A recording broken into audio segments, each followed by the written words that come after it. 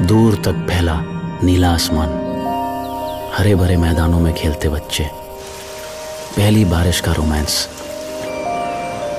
समंदर का शोर। हर जगह पानी ही पानी और खुली हवा में सांस लेने के लिए ऑक्सीजन।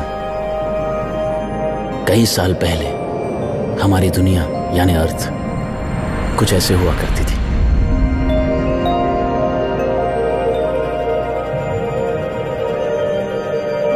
मैंने ये सब कभी नहीं देखा।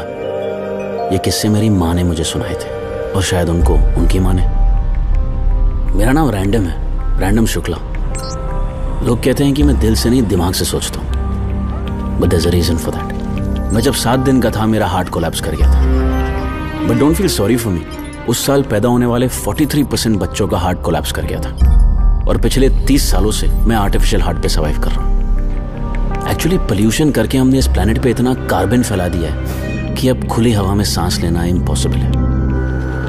अब घरों के बाहर सबको मास्क पहनने पड़ते हैं। और घरों में ऑफ़िस में ऑक्सीजन भी इलेक्ट्रिसिटी की तरह सप्लाई की जाती है। आज ऑक्सीजन एक प्रोडक्ट है टूथपेस्ट और शैम्पू की तरह। बड़ी बड़ी कंपनीज़ इसे फैक्ट्रीज में मैन्युफैक्चर करती है। ऑक्सीजन के हर कैन पर एक प्राइस टैग है। और जो ये प्राइस टैग नहीं अफोर्ड कर पाए, उनके लिए सरकारी ऑक्सीजन है। और उसकी क्वालिटी के बारे में मैं अब क्या ही कहूँ? लेकिन असली प्रॉफिट है नेचुरल ऑक्सीजन जो इतनी रेयर है कि गवर्नमेंट ने उस पर बैन लगा रखा है और इसे पाने के लिए लोग मरने मारने पे उतर हैं। अब हर शाम कर्फ्यू लगा दिया जाता है। शूटेड साइड के ऑर्डर्स होते हैं।